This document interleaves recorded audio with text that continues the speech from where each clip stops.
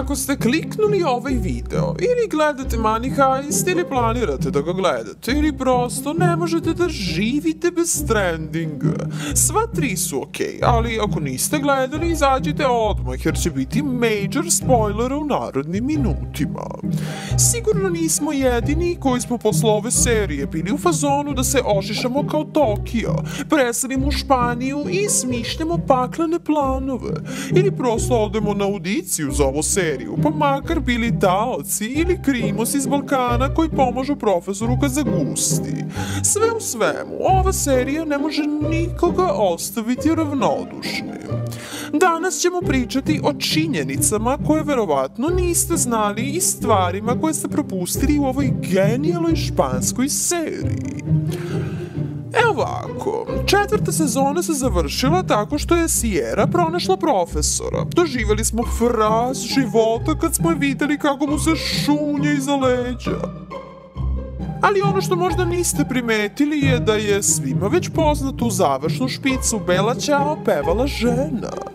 Do sada su pesmu Bela Ćao pevali samo članovi bande, pa su se svi šokirali kad su čuli nepoznat ženski glas. Je li ovo neki hint? Šta ovo znači?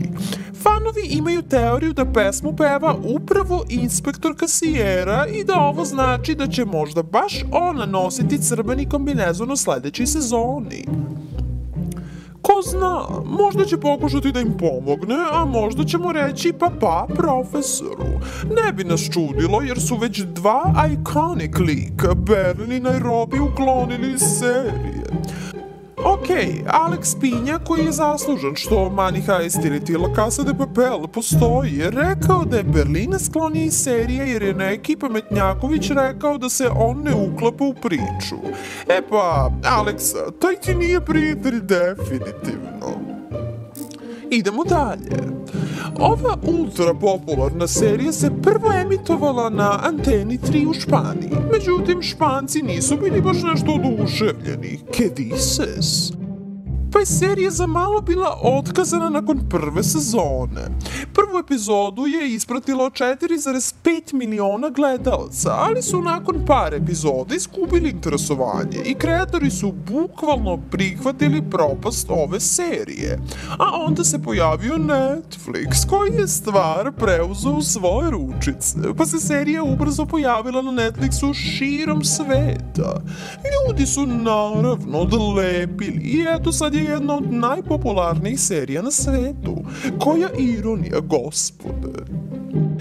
Možemo, a da ne pomenemo Tokio, koja je apsolutna inspiracija života i iconic lik u seriji.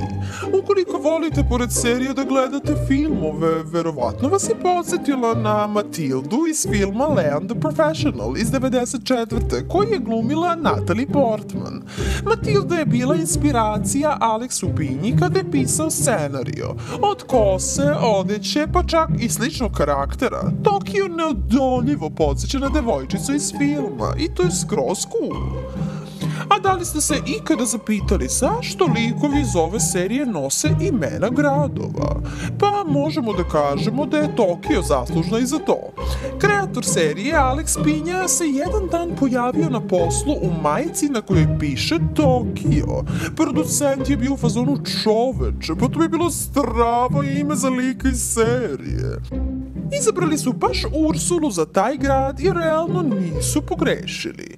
Zamislite da se naš Darko Perić zove Tokio u seriji. Pa ne ide. Verovatno ste skontali da Berlin i profesor nisu samo dva lika koja su odlučila da pljačkaju banku. Ukoliko ste nastavili da gledate Money Heist posle druge sezone, znate da su njih dvojica polu braća. Ali sada, kada se završila četvrta sezona, pojavilo se gomilu teorija vezanih upravo za Berlina.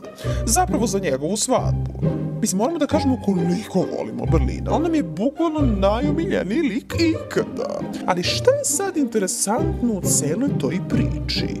Fanovi se pitaju ko je Tatjana, zapravo misteriozna žena koja se udala za njega u seriji.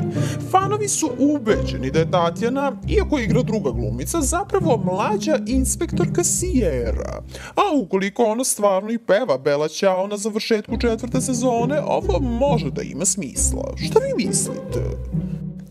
Naša draga Nairobi je bila jedna od najvažnijih i najkulijih likova u celoj seriji, ali jeste li znali da Nairobi nije bila uključena u ranijim fazama scenarija? Dodate je tek kada je Alex Pinja pozvao Albu Flores ili ti Nairobi i pitao je da li joj se sviđa ta uloga. Tako se rodio lik Nairobi. Ne bismo mogli da zamislimo show bez nje, realno. A kad god neko pomene Denvera, prvo na što pomislimo je njegov jedinstveni smeh. Ali ni to nije slučajno. Scenaristi su na audiciji tražili nekoga ko se smeje autentično i pomalo iritantno. Svaki glumac koji je imao audiciju za lik Denvera predstavio je to drugačije. Međutim, Lorente je pobedio i sada istinski želimo da verujemo da se zaista tako smeje. Ako ste mislili da smo mi jedini koji sa nestrpljenjem čekamo novu sezonu jer ne znamo šta će se desiti dok grickamo nokte, u zabludi ste. Niko od glumaca ne zna šta će se dalje dešavati sa njihovim likom. Oni dobiju scenariju za svaku epizodu kada je snimaju posebno i ne znaju sudbine lika koji glume. Ludilo. Alvaro Morte, inače profesor, je otkrio da šalju jedni drugima poruke kada dobiju scenariju i komentarišu u šokčini veka. Naš glumac Darko Perić, poznati kao Helsinki, u jednom intervju je otkrio da mu je najgadnija scena koju je morao da snimi u čitavoj seriji bila kada je morao da poljubi Arturita. Isuse, a najgore od svega je što to nismo ni videli, pošto je isečeno iz serije. A kad je već dobio ulogu Helsikija, imao je priliku da utiče na sam lik i njegov deo scenarija. Na inicijativu glumca Darka Perića ubačene su neke naše fraze i sočne psovke, ali i par poznatih starogradskih pesama. A u seriji se pojavio još jedan balkanski glumac koji tumači ulogu Marseja, Luka Peroš.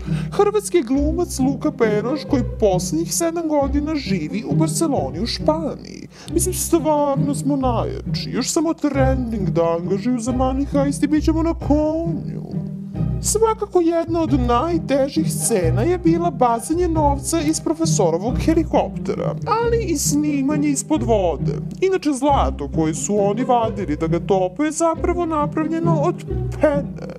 Kako je serija postajala sve više i više popularna, naravno sve više poznatih ličnosti počelo je da nosi crvene kombinezone i maske Darija ali dva najveća imena opsednuta ovom serijom su pisac Stephen King i brazilski futbaler Neymar da Silva Santos Jr.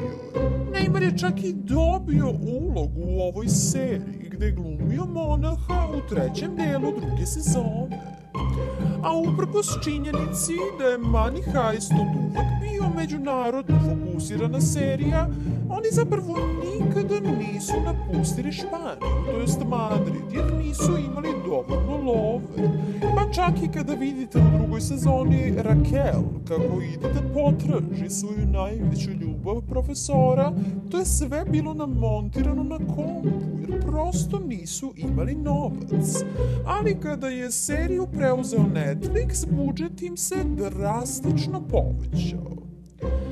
Dok je Money Heist inspirisao pljačke dok su ljudi oponašali seriju, koristeći čuvenu Dali masku, to je takođe počelo da označava i nešto vrlo značajno. Najuzbudljiviji deo se zapravo dešava na ulicama. Ljudi paradiraju po Americi, Evropi i Aziji u crvenim kombinezonima sa maskama i oni se koriste i u političkim protestima. Čini se da je i pesma Bela Ćao dobila novo značenje. Kada je nevladina organizacija spasila imigrante sa broda, oni su, čim su zakoračili na kopno, počeli da pevaju Bela Ćao. Alvaro Monte, koji glumi profesora, je rekao da je to nekako najvažnije od svega. A kako je ova serija uticala na vas? Koji vam je omiljeni lik iz serije? da li mislite da i vi imate šanse, ukoliko ste sa Balkana, da se pojavite u ovoj seriji kao glumac? Mi mislimo da imamo, a ukoliko nam se želje ostvari, javit ćemo. Ne zaboravite da se subscribe-ujete na Trendy.